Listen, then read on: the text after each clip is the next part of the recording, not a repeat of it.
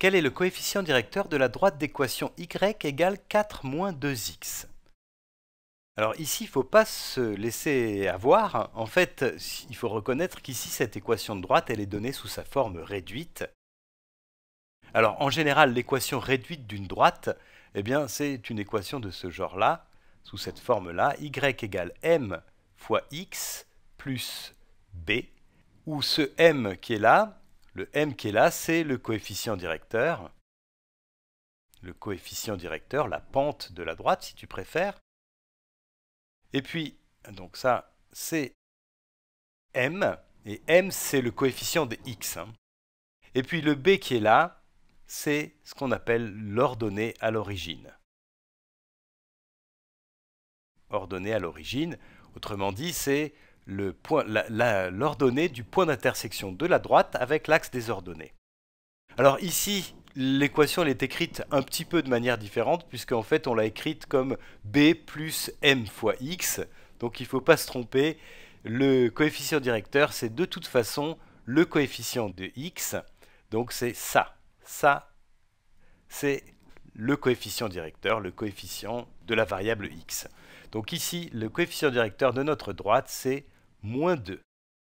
Hein, il ne faut pas se tromper, on aurait pu écrire y égale moins 2x plus 4 pour retrouver exactement cette forme-là. Alors on va faire un deuxième exercice. On va faire celui-ci. Quel est le couple de coordonnées du point d'intersection de la droite y égale moins 2x plus 6 avec l'axe des ordonnées? Alors ici, cette équation de droite, elle est donnée vraiment sous la forme réduite, hein, y égale mx plus b, avec b l'ordonnée à l'origine et m la pente, le coefficient directeur de la droite. Donc ici, m c'est moins 2 et b, l'ordonnée à l'origine, c'est 6.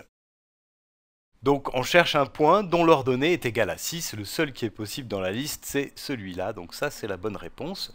Effectivement, une autre façon de répondre à cette question, ça aurait été de remplacer x par l'abscisse des points qui sont donnés ici, de calculer l'ordonnée correspondante. Si tu remplaces x par 6, tu obtiens moins 2 fois 6, c'est-à-dire moins 12 plus 6, donc y égale 6. Hein. Donc ça, ça ne marche pas. Et par contre, tu peux vérifier qu'avec le deuxième qui est donné ici, si tu remplaces x par 0, moins 2 fois 0 plus 6, ça fait effectivement 6, donc c'est, encore une fois, là on retrouve la même réponse, ce couple de coordonnées ici. Allez, on en fait encore un. Une équation de la droite de coefficient directeur 4, coefficient directeur 4, et d'ordonnée à l'origine moins 1 est y égale, alors on nous demande cette équation, donc je te rappelle ce qu'on a dit tout à l'heure, c'est que l'équation réduite d'une droite, c'est y égale m fois x plus b, où m c'est le coefficient directeur et b c'est l'ordonnée à l'origine. Donc là il suffit de remplacer l'équation de notre droite, c'est y égale le coefficient directeur multiplié par x plus l'ordonnée à l'origine. Donc c'est y égale 4x plus l'ordonnée à l'origine qui est moins 1.